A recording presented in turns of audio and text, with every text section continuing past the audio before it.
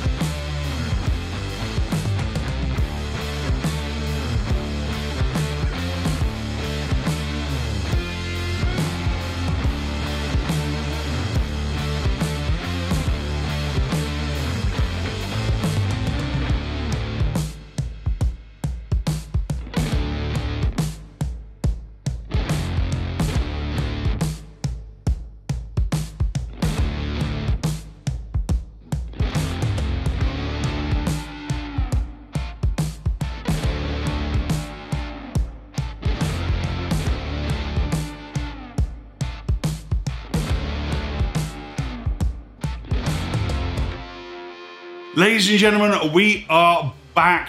My name's James. Welcome to Divers Ready. It is so great to see all of your smiling faces. And finally, here we are the Dream Dive Locker, my new studio space, editing suite, classroom, office, and just quiet place for me to reflect on my thoughts is finally 99.9% complete. It's time to give you, my friendly, loyal subscribers, the grand tour. But first, I just want to explain my hiatus from the YouTube platform. Uh, and I want to say thank you to everybody who reached out via email or messenger. Hey, what happened to you, dude? We haven't seen a video in the wild. Did the Rona get you? Were you abducted by aliens? No, none of the above. We moved house. We moved house. It's that simple. We had a hell of a lot of work to do on the house itself, as well as renovate the dive locker and get everything up and running and it took time. So we knew there was going to be a break. I didn't know it was going to be exactly four weeks, but we're back now. If you haven't been following the development of this project, I strongly encourage you to go back and watch part one and part two so that you have the historical perspective of what we started with. I'll put the links to both of those videos in the description of this video down below. Right, let's start the tour outside. So the workbench you can see behind me, uh, you saw briefly in its construction phase in part two of this series. Uh, that thing will withstand a Cat 5 hurricane. It's concrete anchored into our driveway and permanently attached to these fence posts which go about four feet into the ground. This thing is absolutely solid. As I told you guys in part two, I have the habit of over-engineering anything I build. So this workbench is really no exception to that rule. But what I like to do is work out how the actual workflow of an area is going to go and make actual products that are going to be useful to the way that I work. So the idea here is that I can back my truck straight up to the sliding gate. The tanks have a storage immediately there, so you don't have to carry them further than necessary. And then I have my rinse tank set up, and then this workbench is designed so that it's slatted, so all my wet dive gear just kind of sits on there under this canopy out of the harsh Florida sun and gets to drip dry before I put it away in the dive locker. The rinse tank I chose is the Rubbermaid 100 gallon. It's pretty much standard issue for dive centers here in Florida. Pretty lightweight. It's actually meant to, you know, feed livestock. I've plumbed it in with PVC so it has a cold water feed and the drain runoff actually runs through the sliding gate fence to our hibiscus bushes. So whenever I empty the rinse tank, all that water goes to water the plants.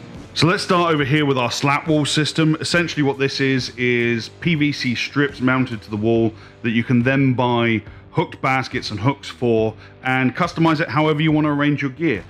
I went with PVC over melamine or metal because obviously the water resistant qualities in case I'm using that for anything damp. So I've got six of these large baskets. Uh, top one up here, that's my tech shorts. Then I have my surf water parkers right there, my full face mask, public safety diving.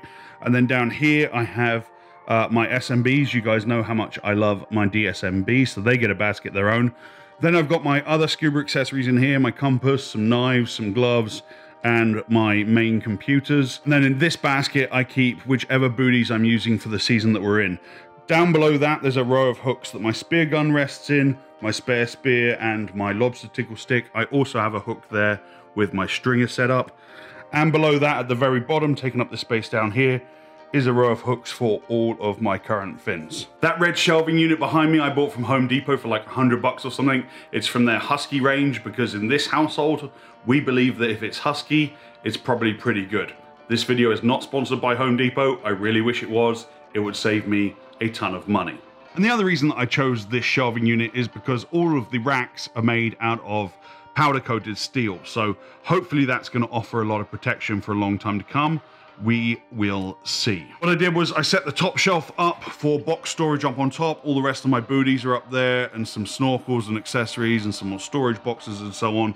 And then I decided to use the underside of that shelf as hanging space. So for example, my open water dive slates are there. My lobster hotel is in the back there. I have all of my uh, lights, underwater lights in one row, all of my reels in another row, and all of my bolt snaps, spare bolt snaps are clipped on hanging back there. Getting a little low on inventory, need some more bolt snaps. Never have too many. And then backing up on the next shelf down, uh, essentially that's the space where students would keep their gear. I have a couple of these gear bags from Kraken Aquatics. Going to talk more about those in another video. Big fan of them.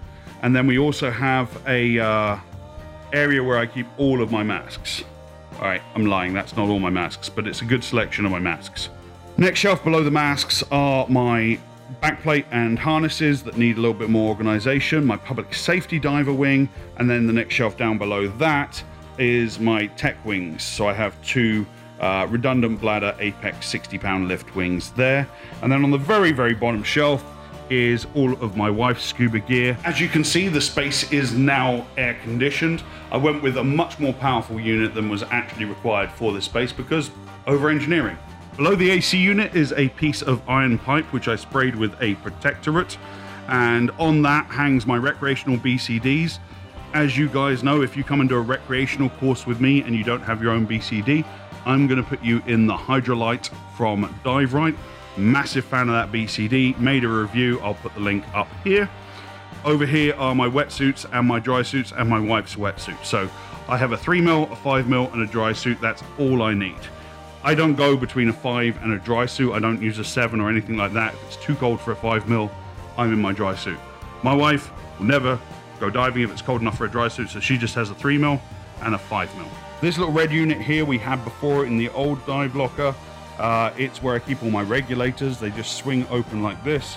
And now I've got the space for it because before in the closet it didn't really fit and these doors would always catch on something. But now they just swing freely open and all my regs are nicely organized by what I use them for. This area isn't quite finished yet. I need to seal the sink around the walls and then I want to build some kind of a little draining board that will stick out over the dehumidifier just so I've got somewhere to put my coffee cups and all that kind of thing.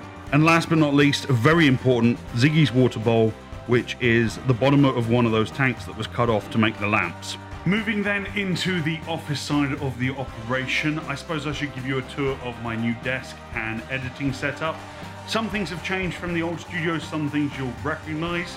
Uh, but first off, the monitor, the computer, all the basic equipment that I had set up has stayed the same, as has the rigging system of those two large poles on which I mount a variety of different arms for my main light, my microphone to clip my headphones to, and actually have a built-in tripod for my camera on my desk to record like the intro to this video and my Mouthpiece Monday style videos.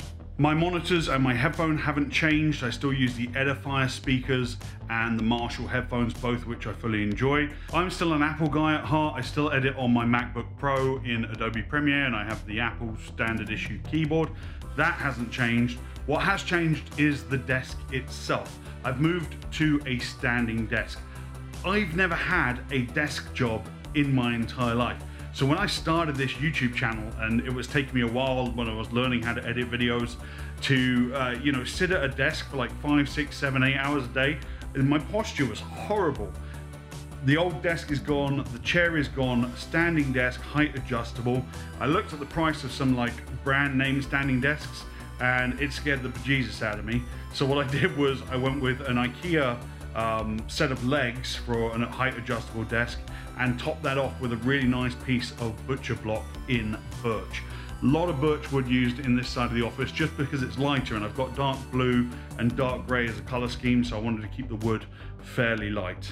Below the desk is my filing cabinet with my student files and my printers down there as well as a waste paper basket, of course. Next to that, I have a tool stack of drawers that basically has all camera equipment. It's all the batteries and chargers and filters and accessories and straps, microphones and lights and all this kind of stuff that you need to build a YouTube channel.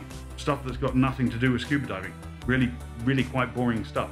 Moving on, as I said in part two of this video, this space also has to function as my classroom. Now, because I choose to teach only one or two students at a time, I didn't need a great deal of space, but I did need some kind of a presentation setup. So I went with a glass whiteboard actually I messed up. I ordered this thing on Wayfair and uh, I didn't realize that it wasn't matte on the back. It was literally just a transparent piece of glass.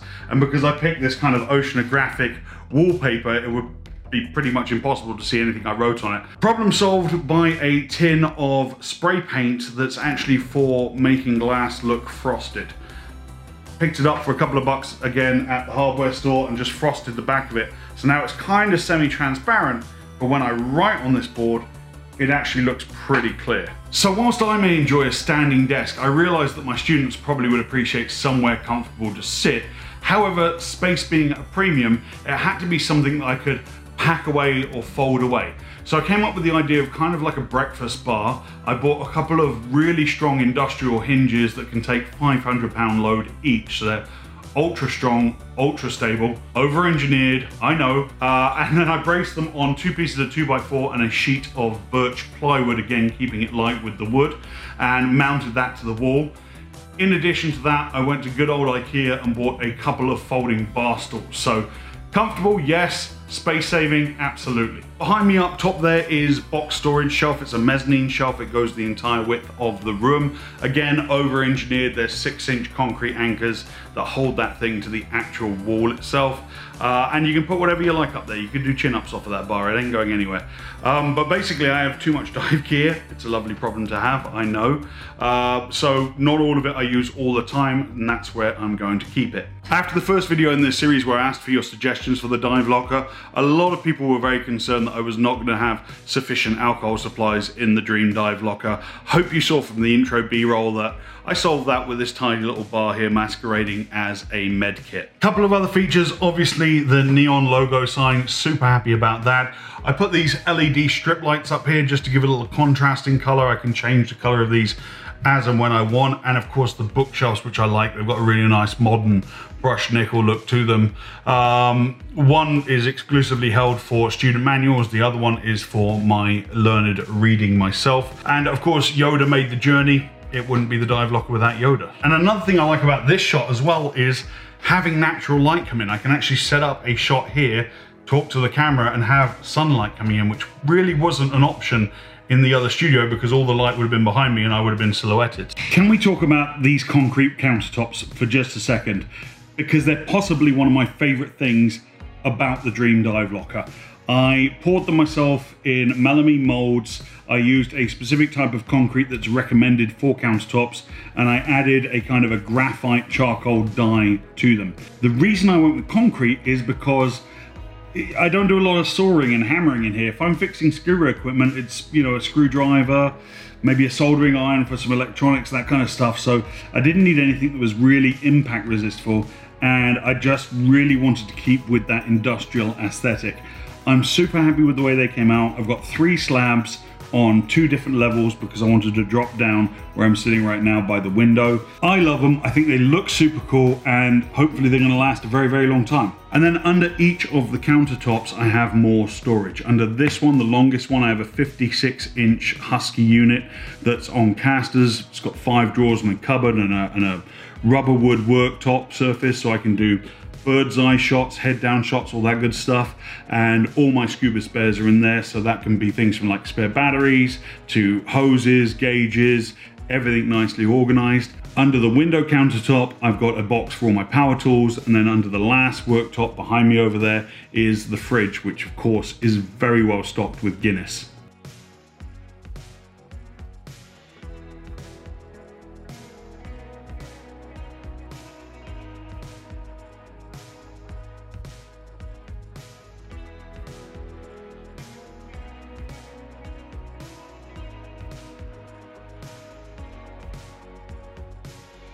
So there you have it, ladies and gentlemen. Thank you so much for coming along on this journey with me, the progression of the world's greatest dive locker.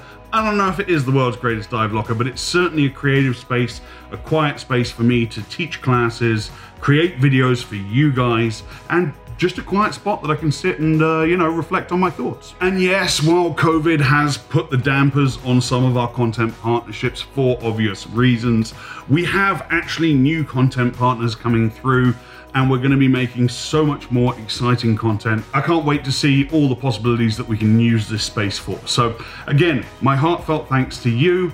The four weeks off did me a world of good creatively. I've got so many more ideas now, so much more content coming for you guys. Thanks for being patient with me. Until next time, ladies and gentlemen, my name's James. This was your Divers Ready video for this week, and we are back, baby. Dive safe, dive often. All right, moment of truth. Huzzah!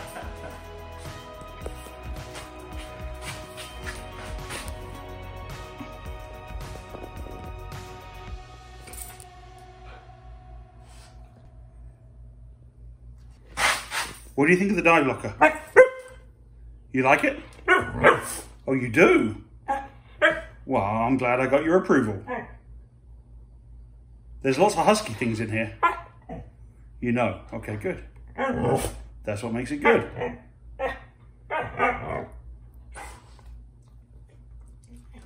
Well, all right then. Should we go for a walk?